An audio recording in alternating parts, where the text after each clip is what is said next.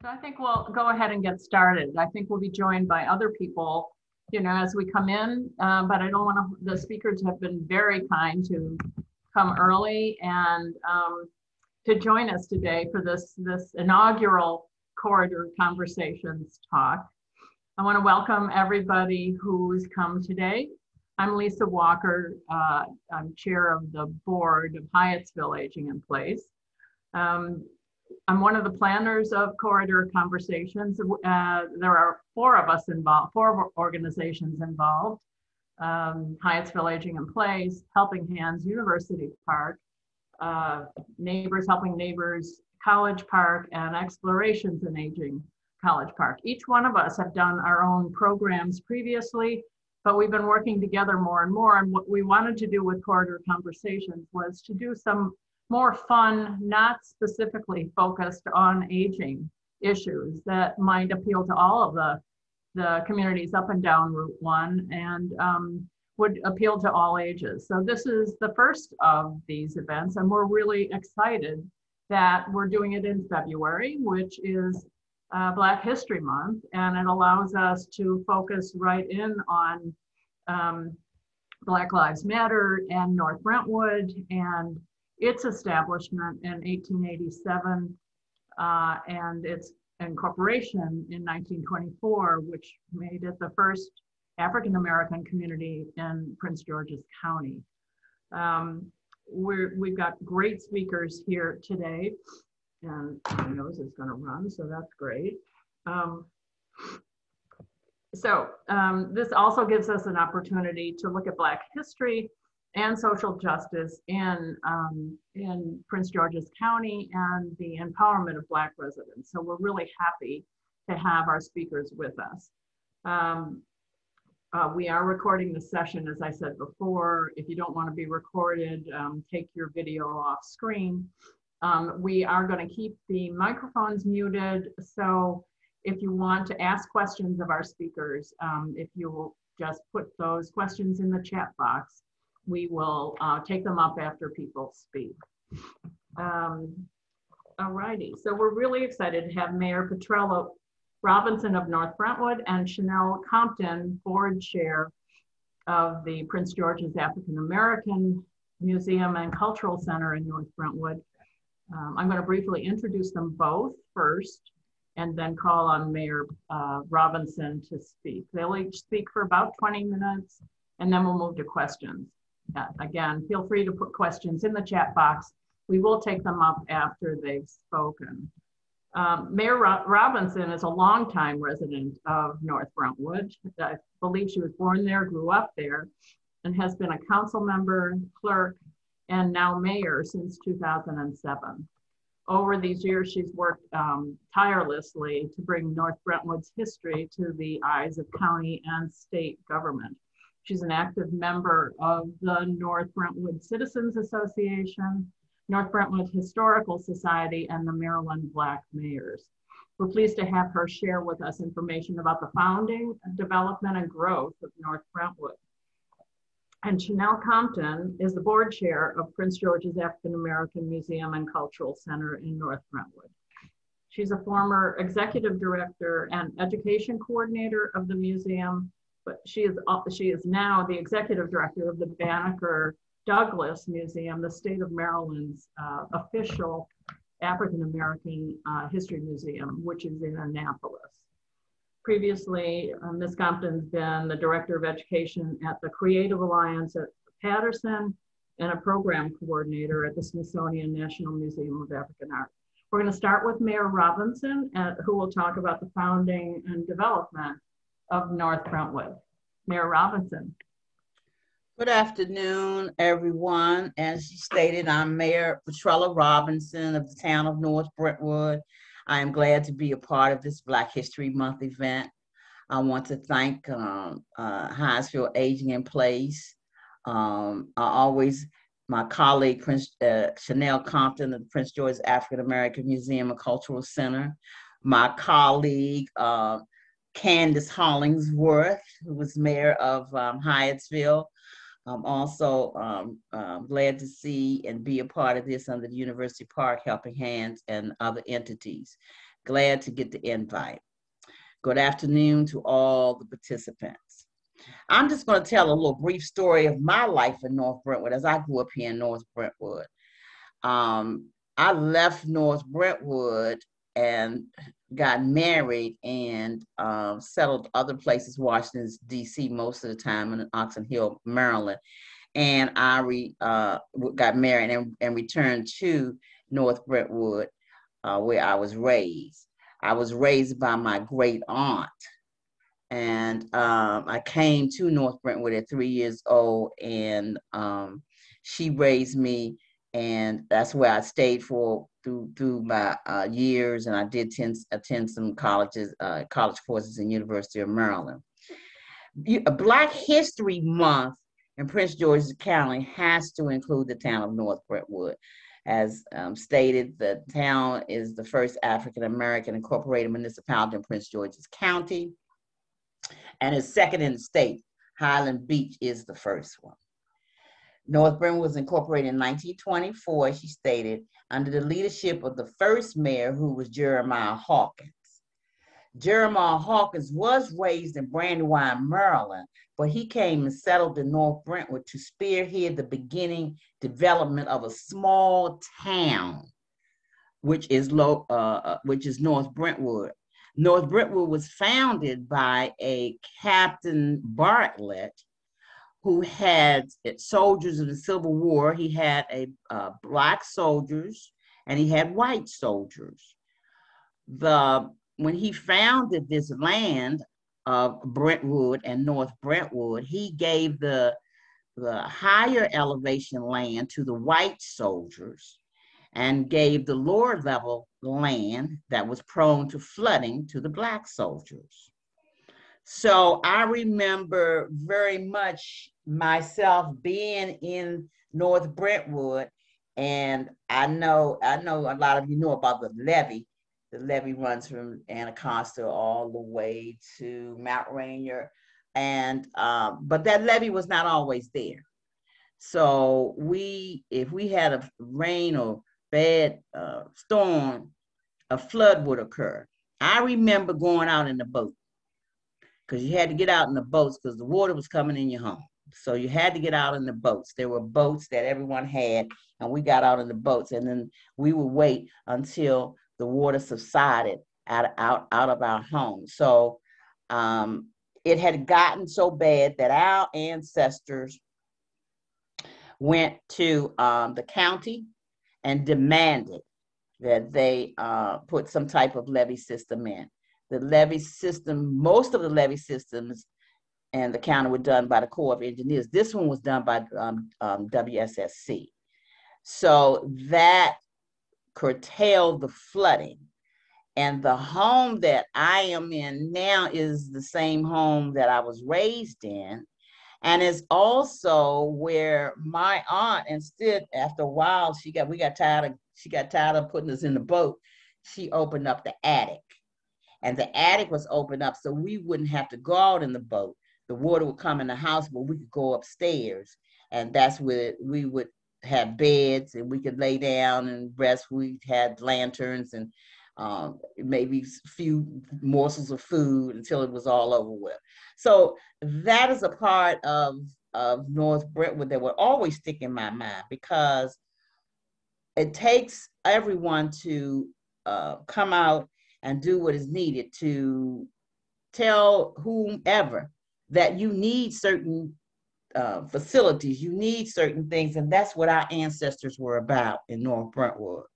So um, the uh, the holiday company once the once the flooding was the the name of the town was North Brentwood where the flooding occurred, but the upper upper part was Brentwood. So this was a town, this was a time when there were sundown towns. And um, Brentwood was a sundown town and Mount Rainier was a sundown town. And you know DC was was uh, segregated. So we were in the midst of that. So that's how we became to be North Brentwoodians and stay in our own little cocoons. Um, in, in 1928 and 1935, when Jeremiah Hawkins was serving, uh, um, as the mayor, he also served um, and was asked to serve at the Republican National Convention. He was recognized as one of the outstanding Republic leaders in Maryland because he had great oratorical skills. Now, this is a known fact, and I don't know if a lot of you know, but most blacks were registered as Republicans during that time. So um, even when I, I I grew up and could could register to vote, my parents told me you have to re- you register as a Republican. That's what we are. We are Republicans. But and that's what we did, and we didn't find out till later on what, that we could make our own choices and, and and do what we need to do, whether we want to be liberal or Democrats or whatever. The town of North Brentwood has had about has had 13 mayors since its incorporation, and some serve more than the usual two-year term uh, tenure, since there has been no impl- implementation of term limits, and there still isn't. Uh, recently, the election uh, terms have changed, and it used to be two-year terms. Now they're four-year terms. And I have served as mayor and uh, since 2007. But as uh, she stated, I've also been a clerk and I've also been a council person. I've also wore some other hats in the community because I came back um, to this home to help my aunt when he she was sick and uh, with my husband and to raise my children. So I've had other hats that I had to wear as far as the different organizations in North Brentwood. As I remember North Brentwood growing up here at the tender age of three years old uh, with my great aunt, who was one of the entrepreneurs here. She's in she's uh, uh, she's in the Prince George African American Museum Cultural Center um, display in North Brentwood. She was a seamstress and she was a beautician. Um, and she ran her own business at, at, at, at her home and is the same home where I reside in today. Uh, and I, being returned here with my children, I had two children in that time in 1974. Um, I wanted to stay involved and make sure my children had a good life too. So um, there were other things I had to do. I was a president of the of the North Brentwood Recreation Council and president of the Citizens Association. But there were also, when you talk about entrepreneurship in North Brentwood, there were numerous businesses in the town of North Brentwood. There were the ice man, we used to get the blocks of ice. You had the produce man, where you get your produce. You know you had the bootlegger. Everybody had to have some liquor. there was always a bootlegger somewhere. A lawyer, we had lawyers, we had doctors, a store, we had a barber shop, and definitely had a club. You had to have clubs. I remember stories about a white linen club that was uh, on Road One, and of course, Sisters Tavern. Sisters Tavern was a juke joint, and um, that's where they partied at. They partied hard up in Sisters Tavern. But see, I was a teenager at that time, and they wouldn't allow me to come. I would come past there and hear the music, and it'd be jumping. But I couldn't get in there because there's no use me going in there because by the time I got home, my mama, somebody would have told my mama that I was in that club. So, and that was, you know what happened then. So, but um, it was a vibrant place. What happened? You talked about Pearl Bailey and Duke Ellington. Well, the stars that were uh, uh, performing at the Howard Theater could they could perform there, but they couldn't stay in Washington D.C. So they would come out to Sisters Tavern, which would they would have their own party. So that's where they could stay and relax and play music and sing and have a good time. So Sisters Tavern has some deep history.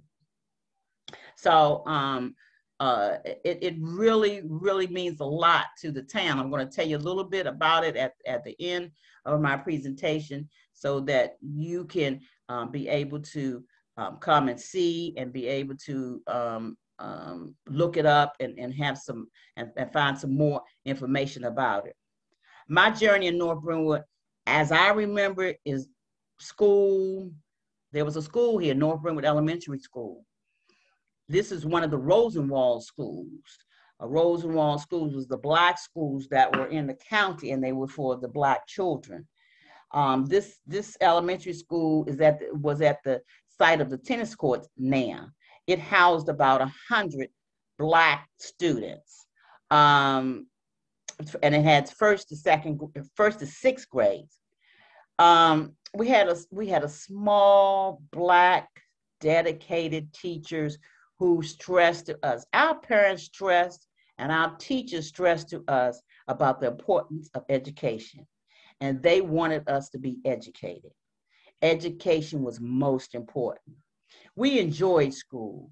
One of our favorite activities was just coming together and just learning from our teachers and, and doing different activities. But one of the activities that stands out is May Day. May Day was when, when all the boys dressed up in their suits and the girls dressed up in their white dresses and danced around the maypole. It was not till 1961 integration was implemented and we were all sent to the all white school.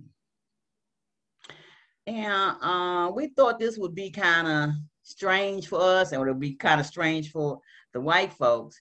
Uh, but it wasn't. Uh, we as Blacks were well versed, we were well dressed, we were smart, we were great athletes, and we had a lot of rhythm because, you know, we were dancing folks too.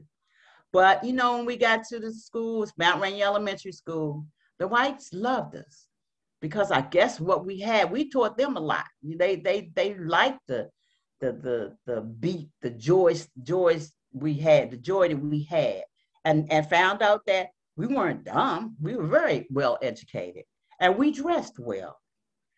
Uh, and then they had athletes. We had plenty of athletes. So most of the athletes from North Brentwood played on the basketball and football teams and led the schools to many victories. That got us real close as far as black and white children. We as children were all raised in also raised in the church. We had to go to church. We had two churches in North Brentwood at that time, and they still exist. The AME uh, American uh, uh, Methodist Episcopal Church and the First Baptist Church of North Brentwood. They still exist. They are uh, First Baptist Church is in another location. It is on the uh, uh, is across the street from the location of our town offices and where Gwendolyn Britt Senior Activity Center uh, is located. Growing up in North was much, much fun. The population during my growing years was approximately 1,500. And that included a lot of children. We had a lot of children. Because of so many children, our parents presented to a county another plan that their youth, at their children, needed a place to play, uh, needed a place together. And we had a park, but they needed an inside place. They went to the county, and what happened is they built the North Brentwood Community Center, which is still there. It is a place of fun, activities, basketball, and spots of many of our town's town sponsored events. We as Blacks were not allowed to go outside our boundaries in early ages. We didn't know that per se, but we knew that we were supposed to be in North Brentwood. We weren't supposed to go anywhere else. We didn't know why, but that was the rule. North Brentwood was surrounded by sundown towns, as I said, Brentwood and Mount Rainier, and the, the segregated Washington, D.C., where the Blacks weren't allowed after um, sundown. They could be beaten or worse. A barrier was placed at um, Windom Road, locations at 39th and Windom Road, is between the towns of Brentwood and the towns of North Brentwood. It was placed there by the town of Brentwood so that we would not be able to cross that barrier to come into their town. The barrier still stands. Through history of dedicated people like the Hawkins, all the mayors, elected and appointed officials, Reverend Jasper, one of the founding members of the uh, First Baptist Church, Reverend Perry Smith, who served the church for 50 years, Miss Anna Holmes, who was the historian of North Brentwood, Mr. Clarence Wallace, who was the store owner, because we could get anything at our store. We could, he would go over to the market in DC and pick up um, all sorts of fresh foods, fresh vegetables, and we would, and our parents would send us up there to get it. They, and, and sometimes if they didn't have money, they they ran tabs, so they would they would pay them at, at the first of the month. We also had, I know maybe some of y'all heard Mayor Lillian, Lillian Beverly. She's our first woman mayor and my mentor. Uh, Miss Eleanor Trainum, who was an encyclopedia, walking encyclopedia. Miss Eleanor Nan's 80, 86, and Mayor Beverly is 92, still living. And they were members of established organizations such as the North Brentwood Recreation Council, Historic, Historical Society, Citizens Association, and all the dedicated parents who were determined that their children were going to be well-rounded and an asset to any community or organization to improve relationship with all people. Presently, the towns of Brentwood and North Brentwood, with the help of the Neighborhood Design Center, have collaborated to memorialize the history around the barrier. An artist has been selected, and a new art creation will help tell the story about segregation. The barrier will not come down. We need to remember what the barrier is, was about. And future Maryland National Capital Park and Planning Commission will come on board to place signage in the area but we we know we talked about bringing it taking it down but it cannot work like that. We all decided the barrier is a part of history and should not be removed and be able to tell the story for years to come. Joe's emporium in mount rainier has uh, sponsored many events around the historic sisters tavern.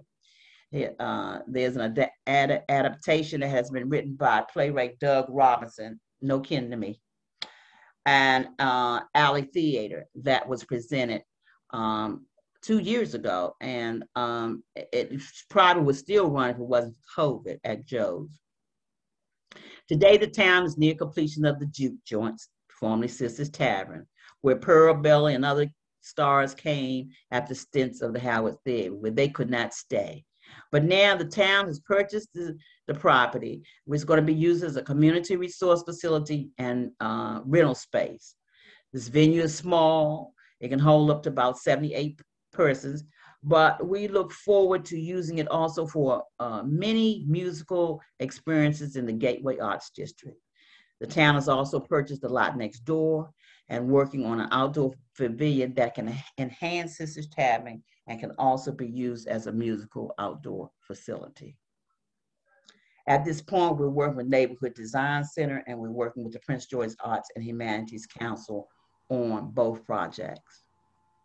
I'm going to leave you with some sites to uh, get more information about North Brentwood. Uh, one of them is the town site. I'll put it in the chat.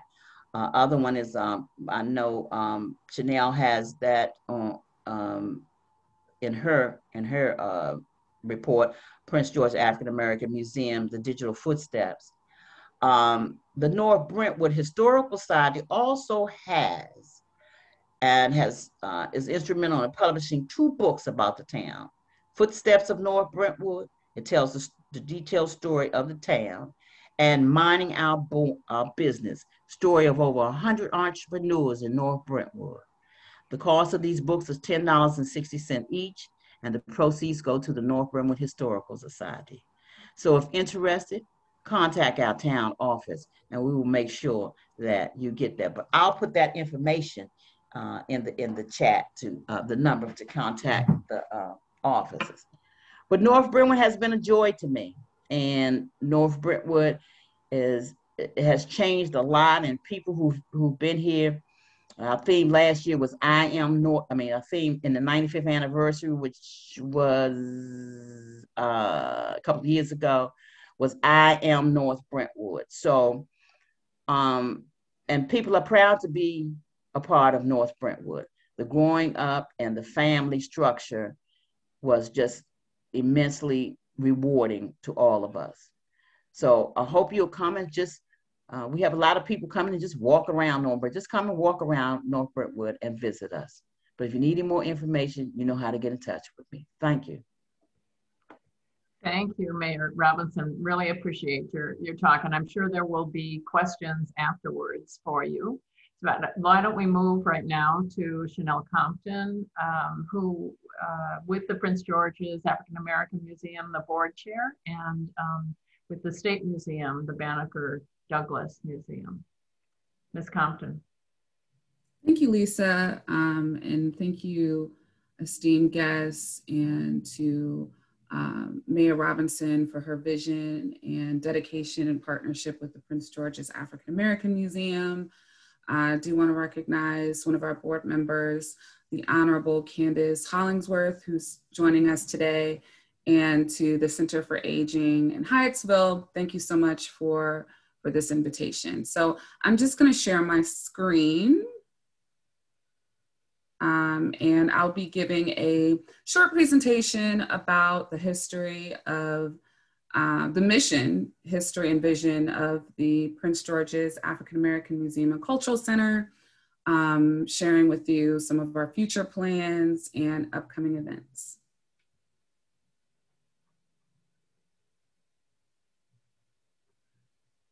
So just yeah. give me a thumbs up if you That's see the screen. Okay. All right. So, the Prince George's African American Museum, uh, our mission is to celebrate and inspire the community through the cultivation, preservation, and presentation of the cultural and artistic contributions of African Americans in Prince George's County, Maryland, and beyond. Uh, we are located at 4519 Rhode Island Avenue on Route 1 in the heart of the Gateway Arts District in the historic town of North Brentwood. Uh, you can definitely visit our website at www.pgaamcc.org where you can learn more about our events. We have a really great um, virtual exhibition series as well as a digital collection. Um, I'm sorry, digital yes, digital collection of uh, our uh, permanent exhibit.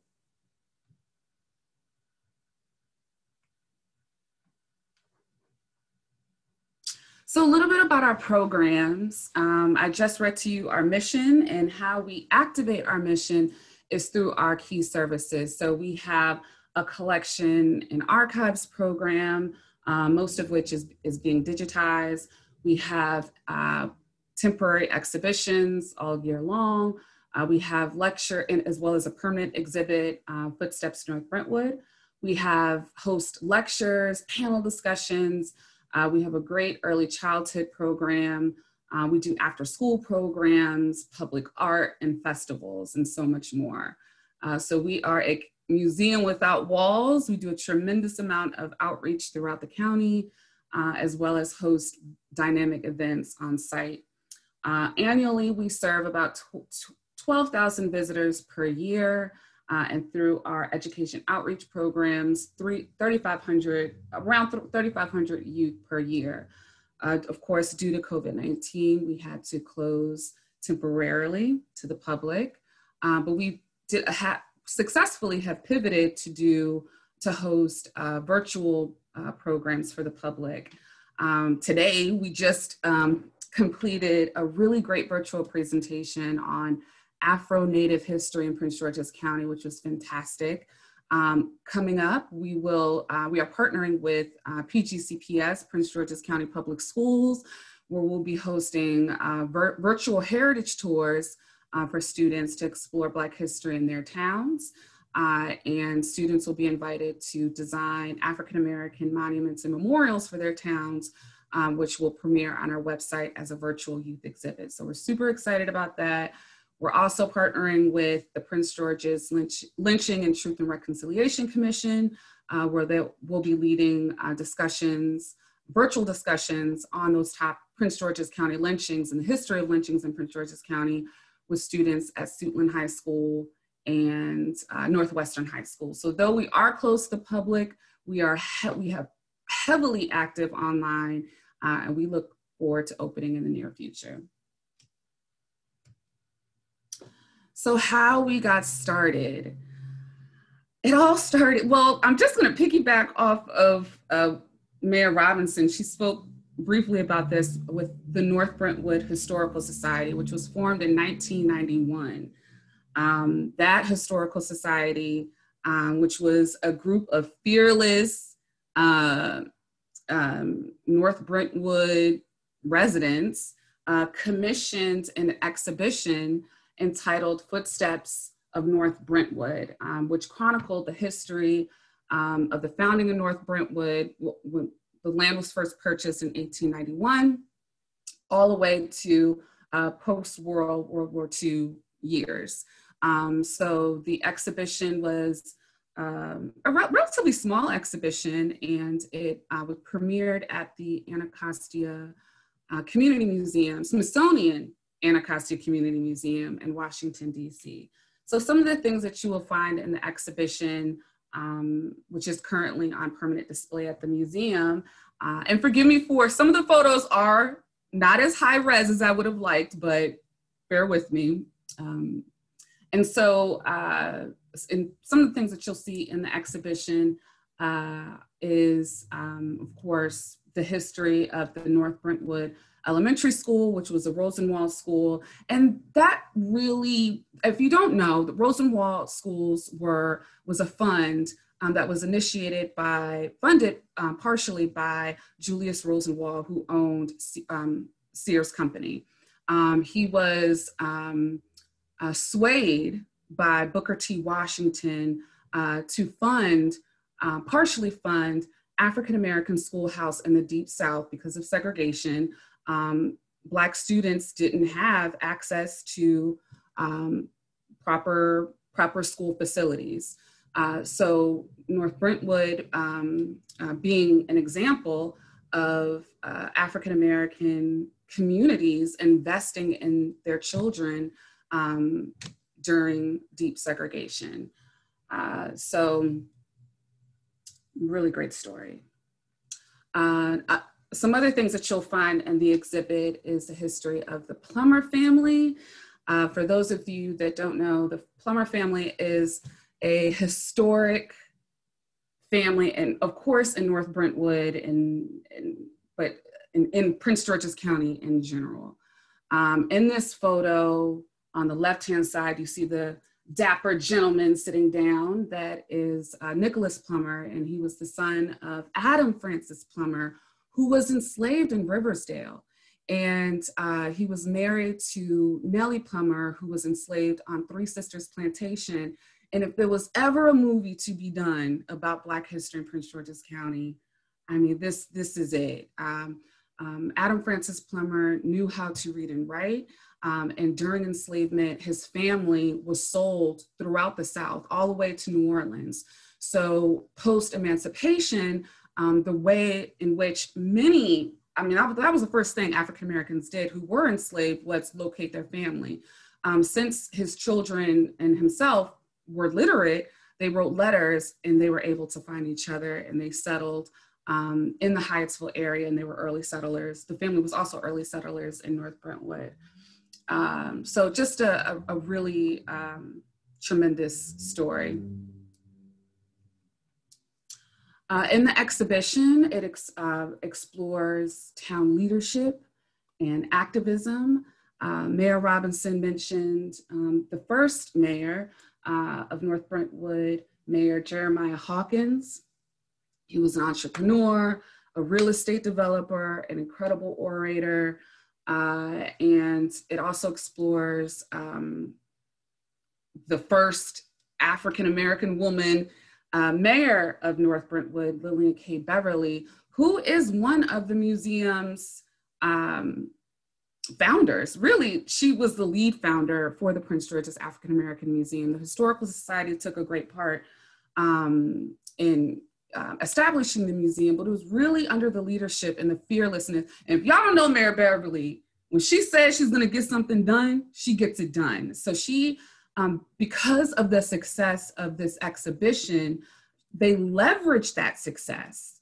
She did leverage that success, and they advocated. Uh, Mayor Beverly advocated to um, state legislators, um, and under her leadership, advocated to county legislators to fund what would be the Prince George's African American Museum. So, from that small vision, that small exhibition, that was let the groundswell um, to serve thousands of, to share the history of Prince George's, to share Prince George's Black history to thousands of, of residents and tourists in, in the county every year. Uh, we have a tremendous amount of youth programming.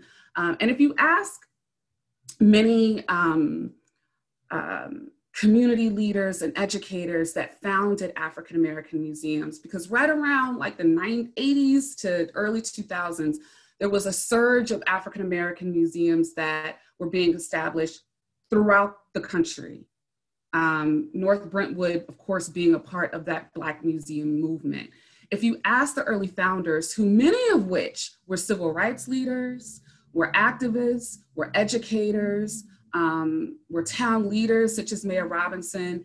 If you ask them, why, why are you forming this African American museum? Um, the first thing that they would probably say, and many founders have said, um, is to educate the next generation, uh, to combat systems of racism, to empower communities, to empower Black communities through the preservation and celebration of Black history, because Black history is a relatively new phenomenon. It wasn't popularized until um, uh, the later part of, of the 20th century. So, uh, so here we are, here we are today. So our vision, we have a relatively small facility and our collection, our programming uh, is growing.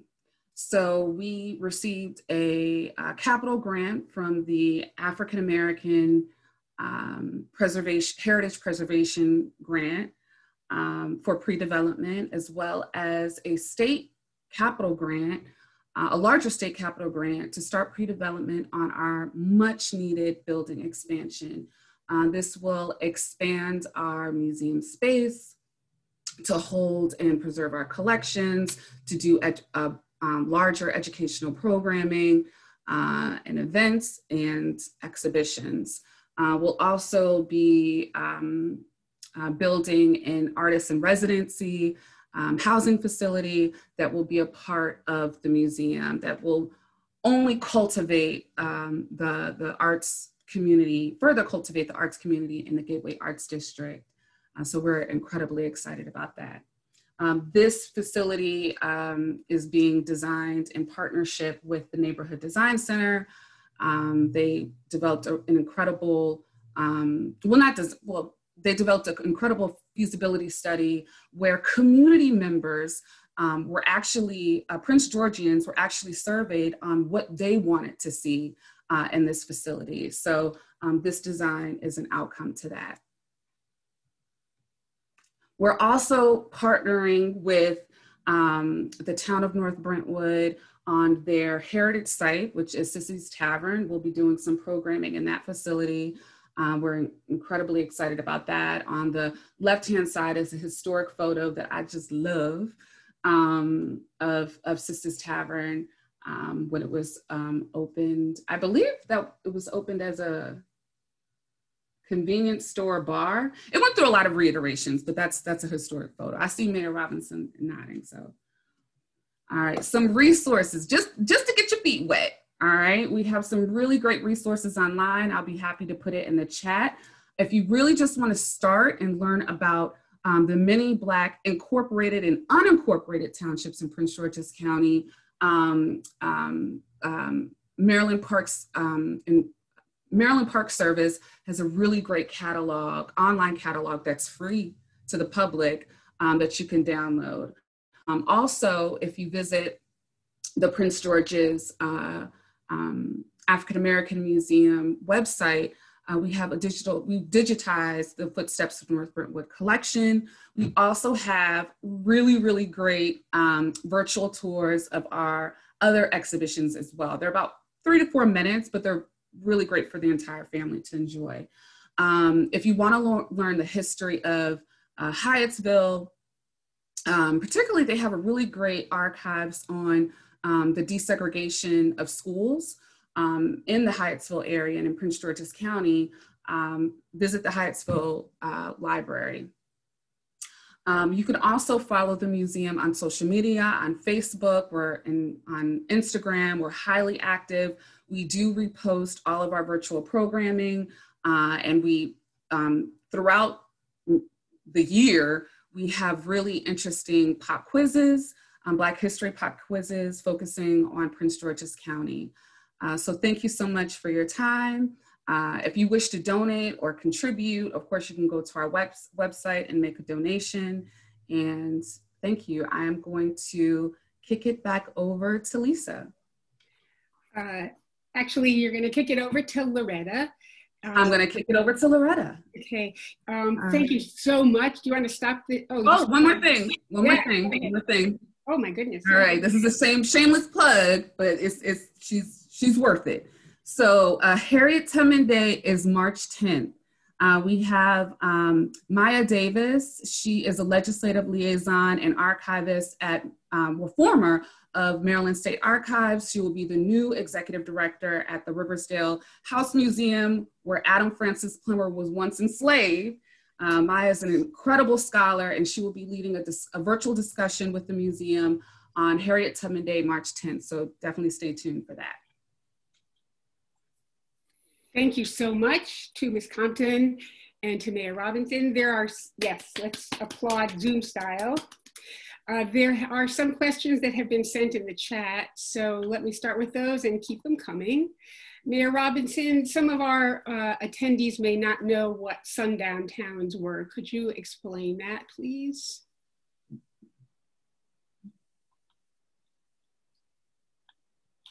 Oh, you need, yeah, let's unmute you. There you go. Okay. Um, uh, sundown towns, uh, or sometimes they call them great towns. Sundown towns are towns where all white, uh, was white municipalities or neighborhoods um, in the United States that practice a form of racial segregation by excluding non-whites via uh, combination, some combination of discriminatory discriminatory uh, local laws. So if you if the sun went down and you were not supposed to uh, non-whites were not supposed to be in their neighborhoods.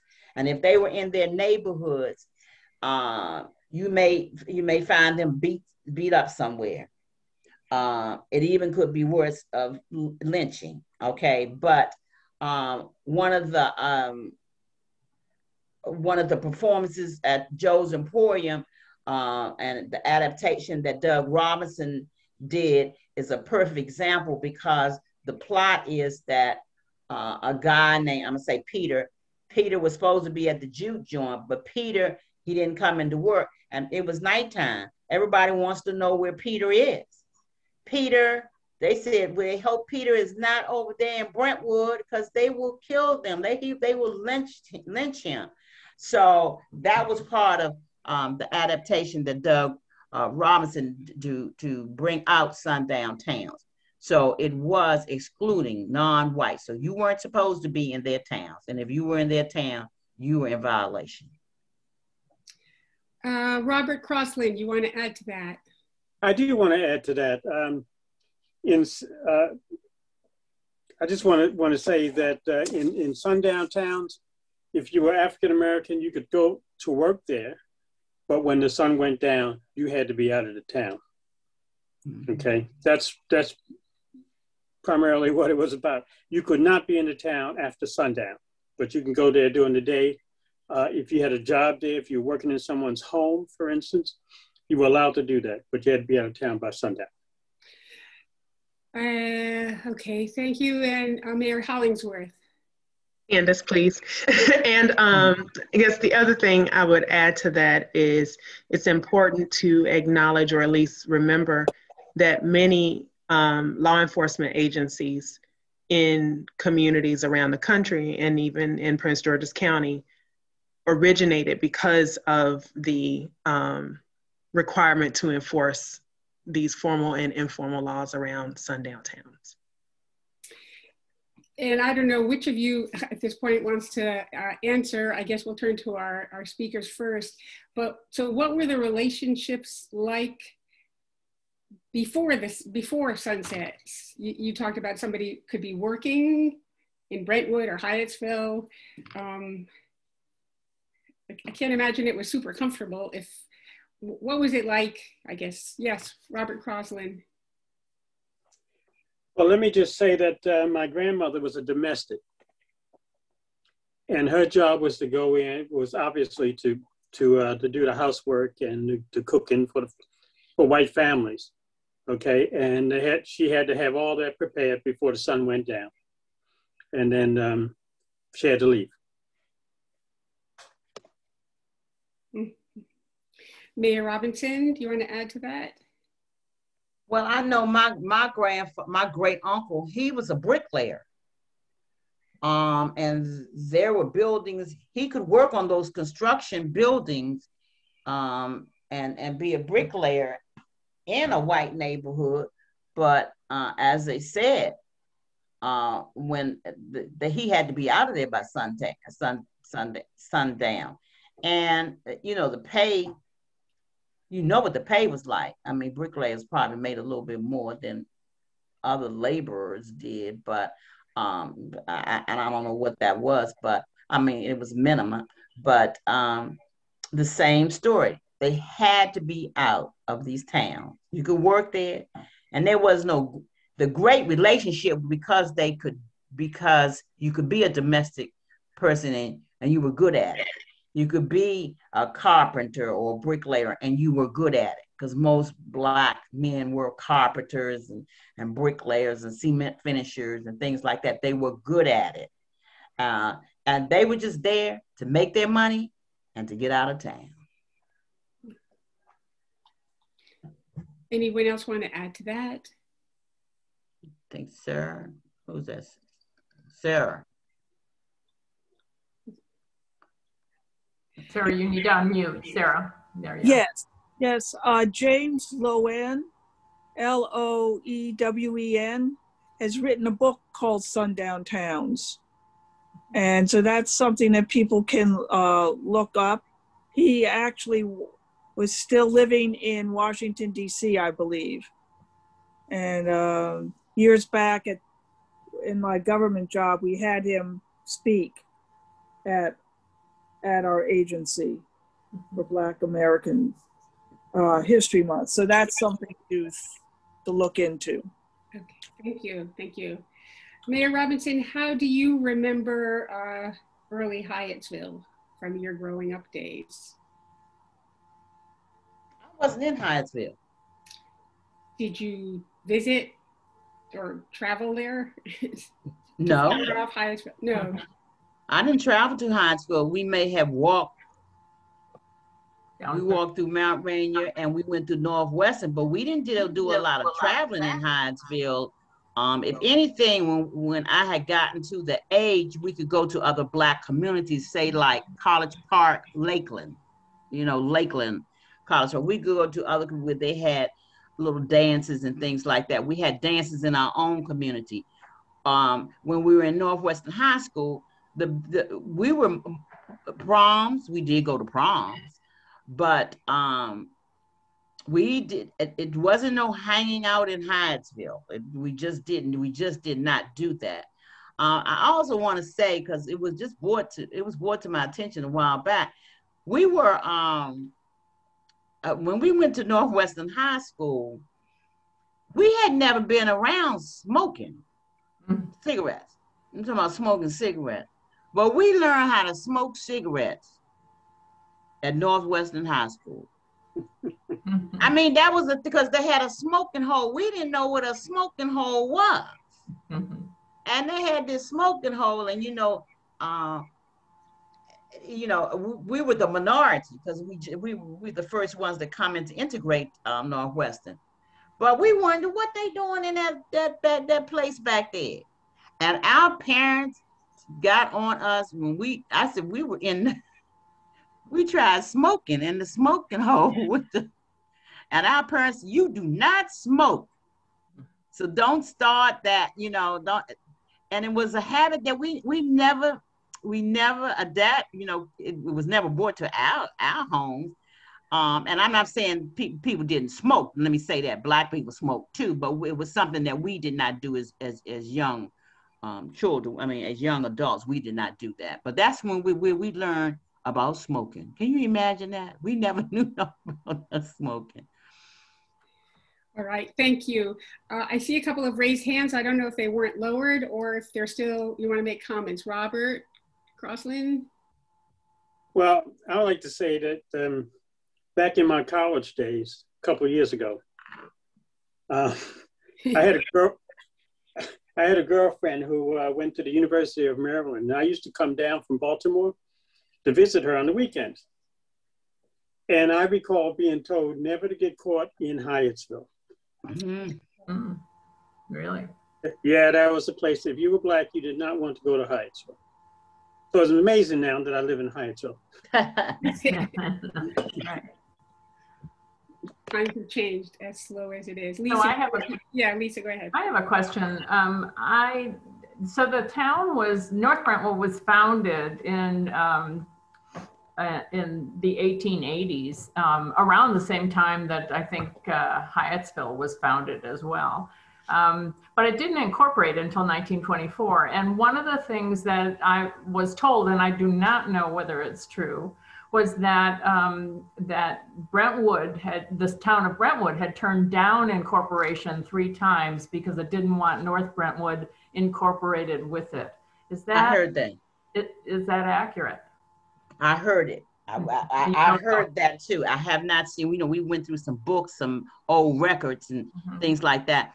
But, uh, you know, as far as meetings and man town councils meetings and stuff that they had a long time ago, we did, I, I've heard it before through Miss Trainer, who is our, our encyclopedia, that, Mhm. that they did, they, you know, didn't want to do this, but I heard it through her. And I don't know if it's written anywhere. Mhm. I don't know But- either. And I yeah, do but know I there's heard it. More research. I don't know, um, Ms. Compton, whether you, whether you know anything more about that or whether you could point Well- us to some people that might know. Well, the land was sold to the Randalls family in 1891. Yeah. Um, and so when they incorporated, I mean, they were known as Randallstown until they Yes. incorporated as North Brentwood. Mhm. So I don't know. Um, I, that all of that sounds plausible, but we don't have any documentation to in our collections to to, to validate that. But it all sounds plausible. So I, as you mentioned earlier, and I'm just jumping in here, Loretta, I'm sorry. But uh, you mentioned earlier about the, um, the lynching commission, and I also uh, sat in on a meeting last, uh, earlier this week uh, of the, with somebody speaking about it. I wonder if you could say something more about that and about what, uh, what it's, what it's doing. So yeah, the the the lynching. Well, the, there's the the Maryland State um, Lynching Truth and Reconciliation Commission, and that that is a state governor appointed commission. The Prince George's um, um, commission is working under that state commission to basically um, do uh, conduct research on um, lynching victims. I believe there were four documented in Prince George's County, and I can put their the web their their website in in the chat.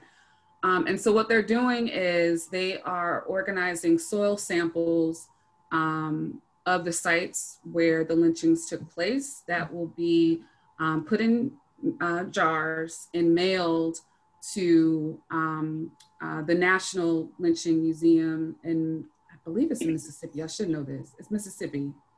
Um, and so, um, but this is going on all across the state. And this is the first commission, state commission of its kind. So it is a, a national model. Uh, so the Prince George's is working with them, with the Prince, the Prince George's Museum is working with the Prince George's Lynching Committee, Commission, excuse me, um, to organize the first round of uh, youth education uh, programming in the county. And it's not specifically and only lynching, it's any um, uh, death that occurred or, or serious harm that occurred as a result of violence. Is that, isn't that right? In the way It's pretty, it's, well, so the, it's, that's, that's a good question. So with, within that particular commission, there is, you know, um, definitely um, intersections and uh, conversations around police brutality and uh, uh, racial violence, Mhm. um, but they are being very specific to um, document and uncover public lynchings that occurred in the county. Wow. Okay. Are the hands that are raised related to the topic of lynching? Okay, Sandra? So I posted in the chat and um, Carter Ross was kind enough to, I couldn't post to everybody. I put up two links. One is to the PG County Lynching Commission. The other is to the State of Maryland Lynching Project, which is a separate organization. Um, there are two short documentaries out. One is about the three documented Maryland lynchings. Um, it was just film. it was just um, shown maybe two weeks ago. Um, and I'm not sure, I, you'd have to go to their website to see if there are any more um, showings um, scheduled. And um, there was a short, also a short documentary about a lynching on the Eastern Shore. And so the, the Maryland Lynching Project is going ahead with a lot of wonderful work on that score. And Chanel, you want- go ahead. I do want to uh, note that a part of their work as well um, um, is to organize um, um, truth and reconciliation. They're not trials, but basically uh, public events where um, the victims' families, as well as I and I don't believe, but the the the the people that family members that were related to the murderers of of the victims. Um, so kind of like in the same vein, how um, South Africa had the Truth and Reconciliation trial, so to speak. Um, the Lynching Commission will be organizing those as well. Wow. Wow. And Sarah, you have you had your hand up also. Thank you for that. Sarah. New- Okay, so I'm part of the Prince George's County Lynching Memorial Project. And uh, tonight, if you go on their website, they'll have a link, which is at seven o'clock. They're going to have Dennis Duster and Ernest Quarles talk about, I don't have the whole title, but it's about what happened on the events of January 6th and how it relates to lynching. And the other thing about the commission is the project is that the the effect of the lynching have gone through generation after generation after generation. And that's why the police brutality aspect um, goes uh, into this lynching um, stuff. Um, also, the um, the lynching memorial that oh, I'm going to blank on his name. Bryan. Um, Stevenson. Bryan Stevenson, it's the yes, Equal Bryan Justice Initiative. Stevenson. Yes, that's in um, Montgomery, Alabama. And right, that that's okay, Chanel. And, and that's okay. And so um, we're hoping that we got. I think we got um, to be put under. We put a um application in to be put under the Equal Justice Initiative of of Bryan Stevenson's thing, so that when we do soil collection, we'll be able to have it down in uh, at the uh, museum in Alabama.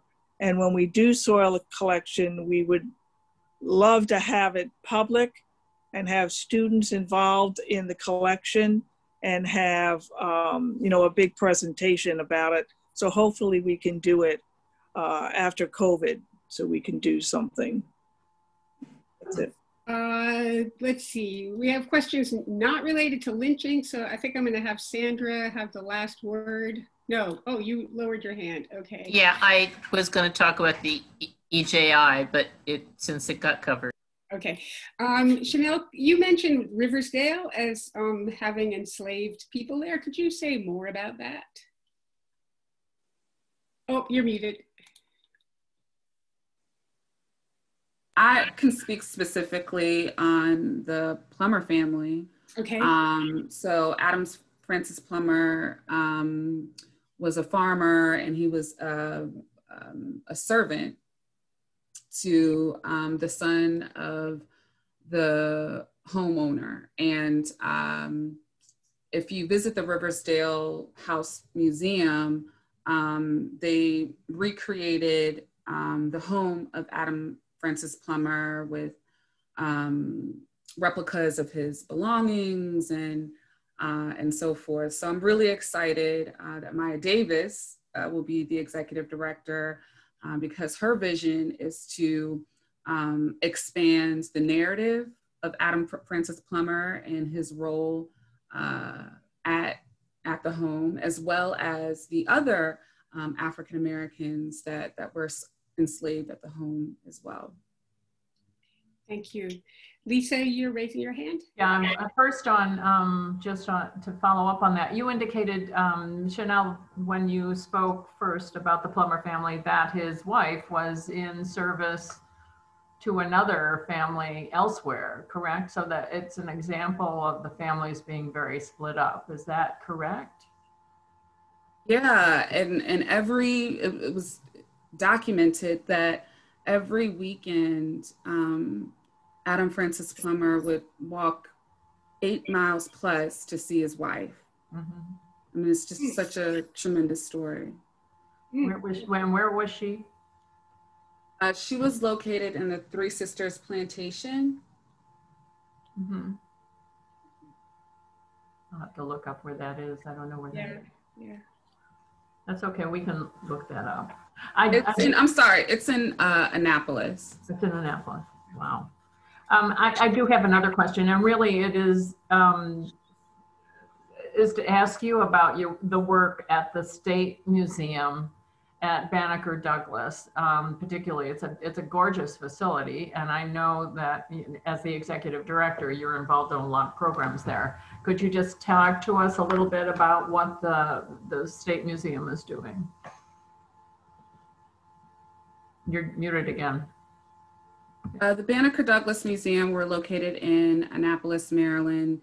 Uh, and right now we are temporarily closed, but um, like the Prince George's African American Museum, we've pivoted to uh, do virtual programming.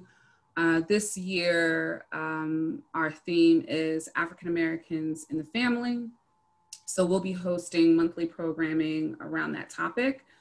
Um, um and uh, uh, we have really great community partnerships where um, we uh, are exhibiting a group exhibition um, featuring Black artists in Maryland around the topic of Black Lives Matter.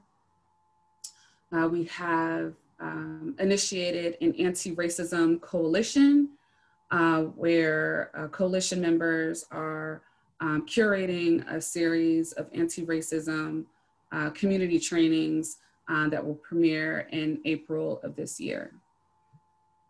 Great, thank you. There are a few questions that have come in asking uh, where Black people were living. So we know North Brentwood, Mount Rainier, Lakeland, and how they got between those towns to visit one another. Um, to get to work? Were there so-called underground railroads between the communities?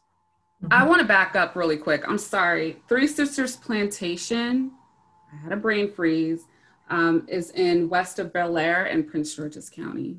Mm. okay. Okay, should I repeat the question or? So we're getting the sense that Black people were living in Mount Rainier, North Brentwood, Lakeland, maybe tell us where else they lived, but how did they travel between those communities or to work or, and somebody's asking were there uh, so any kind of underground railroads uh, going through those towns or anywhere in the area? Sure. Um, well, I mean, the B&O Railroad ran through many of those towns, and North Brentwood even had a trolley system So that was a, the B&O was actually a huge draw for African Americans to um, settle in towns such as, you know, Lakeland and, and uh, North Brentwood. So that's how, if we're, if we're talking about 20th century, that's how people uh, typically got around. Um, as far as the Underground uh, Network for Freedom sites, um, I can't recall any formal sites off of hand, but um, I'm happy to um, do a little digging and share that research um, um, via email at a later time. Mayor Robinson, do you, go ahead. Um, well, I could just say about North Brentwood, uh, North Brentwood being a, a place where there were many entrepreneurs, a lot of people in North Brentwood had their businesses at home. Mm. Mhm. They would, they may have a truck, the produce man may have a truck. Now he may go through different towns to to to sell his goods, but uh beauticians, lawyers, doctors, the barber shop, all that here it was located in the town of North Brentwood. So a lot of uh, of things that they did were on a barter scale. You know, you barter services. Mhm. You know, you do my hair, then you can cut my son's hair. I used to take my sons up to the barber shop because the barber shop had, you know, when I first come, my that was in 1970, 1972. So I'm saying take it to the barber shop. Most of the men were sitting in the barber shop waiting for, for a free chair. So I'm saying they weren't, they stayed in North Room, they stayed more among themselves because they were seamstress. They were beauticians. They were barbers. The places were here. They were store owners, you know.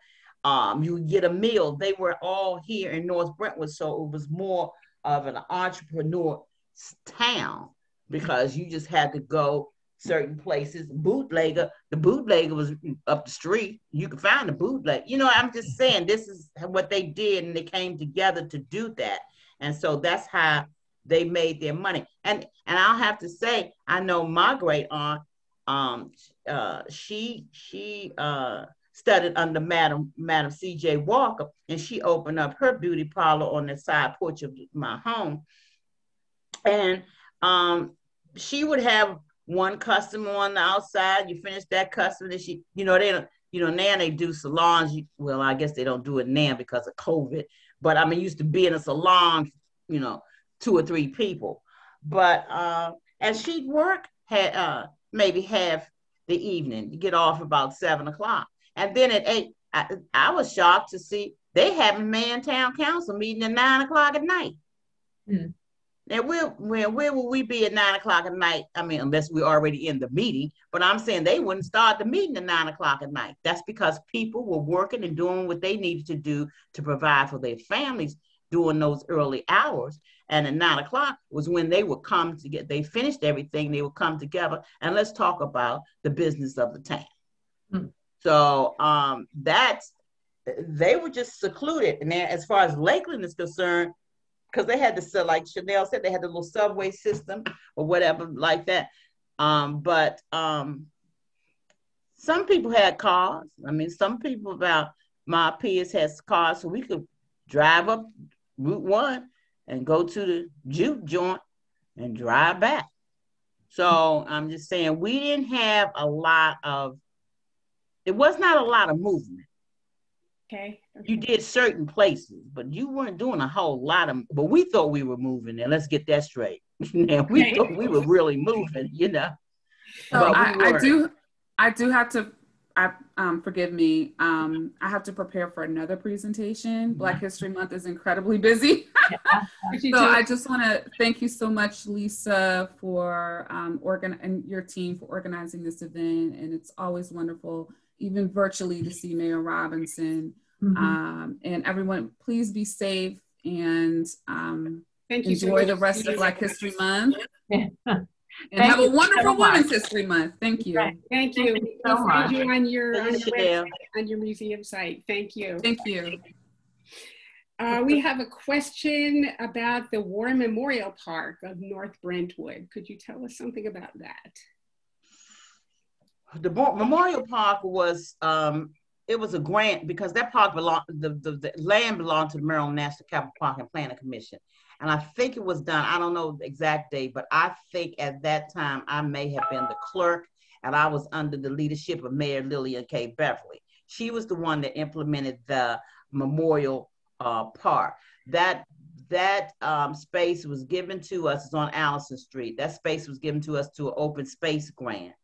Um, the North Brentwood Historical Society was involved immensely. Um, it is a monument that has names of all of the previous, all the way back to Civil War time, the previous um, and the and and the and the other residents of the town of North Brentwood who served in any kind of war. Hmm. Um, and there are over 250 names on that monument. There was also pavers, brick pavers that were purchased um, through different families, even though where they were deceased, uh, so that they would have their day uh, uh, on a paver. So that area is um, still there. It is a, a grand um, monument. The Marble Company, and I think that's in um, Brentwood. The Marble Company across from Thomas Stone Elementary. I think that side is Brentwood. They did the, the marble and the creation of the, the monument itself. We just installed a new flagpole. Uh, uh, the flag was getting caught up in the trees, and so we got a high, and it looks magnificent. And we each year, um, we each year uh, uh on uh, May 30th have a Memorial Day have a service um, to recognize um, our veterans and a roll call. Um, John, oh, I tell you, a, a, mine is a terrible thing to work. John Seaburn, his name's John Seaburn is one of the black soldiers that is listed on the Peace Cross. He's the only huh. black soldier that's listed on the Peace Cross. His name is John Seaburn, and he is from now from from North Brentwood, and he is on our monument, but he is on the only black soldier at um, Peace Cross Monument. Very nice, very nice. Okay, thank you for that. I think um, the last question that I'm seeing here goes back to the sundown laws uh, if you know when they were revoked and wondering about the transition like did did black people feel comfortable staying out past uh, was it sunset whatever sunset was or a different time or uh, was it slow, were they still feeling like they needed to go right back to lakeland or north brentwood? Um, so if you know I, when they were revoked and the transition after that I'm I'm sure I you know I wasn't there having that did a lot of research on it. Um, we I was born in 1950, so um, and as a child, you know, as a child, you don't um. Well, as a child, they didn't tell you much. They didn't tell you much anyway. That's number one. As a child, they it wasn't none of your business. Whatever it was, whatever they was doing, or whatever you could not do, you couldn't ask no questions. Why? because it wasn't they'd say none of your business. So you just go on and te- do what I tell you to do. I just believe that through through uh, integration and, and the civil rights movement, I think things moved a little bit faster as far as the sundown towns. It had to be. It had to be through the civil rights movement coming coming through and the and the and the integration of schools that all this finally just dwindled down. We just did what we were told to do. Don't go there. Well, and maybe your families were trying to spare the children from. They did because we didn't. I, am gonna tell you, as I was growing up, I didn't know nothing. I, I never seen a, a, white and black um, water fountain. Hmm. I seen that on a picture of the TV. Hmm. I've never seen it. They protected us. They didn't tell us a whole bunch. They didn't tell us about nothing. They didn't tell us about anything. They didn't. If they was, I you know I like to put fun and laughter and everything. If if you was going for if, if you was with your mom to go to bootleg, you had no business knowing what she going to bootleg for. Okay. You had no business knowing what he was doing. I'm just saying they did not they did not tell us nothing. protected. Yeah. They kept us protected from everything. We just did not know what we were going through. We were just playing and having fun. Okay. Actually, there was another question. Is there a second church in North Brentwood aside from the African Methodist? Uh, Yeah, there's the African Methodist Episcopal Church, and there is the um, First Baptist Church of North Brentwood. Yeah. That's the Baptist Church and the St. James, uh, and then there, there is another St. James Pentecostal Church.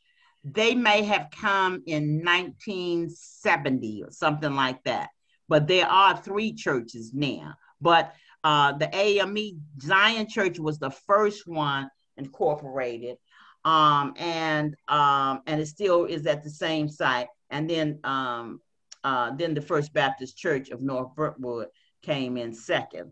Um, I don't know if you, uh, I don't know where anybody lives at, but I do know that on the community channel, on our community channel, which you might get, um, 71 is Comcast, Town of North Brentwood is set, Comcast is, is 71. Verizon is 1983. There is a story, we did an I Am North Brentwood story. And there's a story on our community channel to tell you about the history, which also involves the churches, the uh, the settlers. Um, so if you have time, that um, I'll put it in here. Comcast channel is 71 and Verizon is 1983. okay. Great. Lisa, So Loretta, are there, do you see more questions? I don't know. Are there any last questions from? Anybody else got their hand up? Want to ask a question? I, so if you download the chat, folks, you can um, get those, that'll go right to your computer and we will send some of those out, some of those references out when we're finished.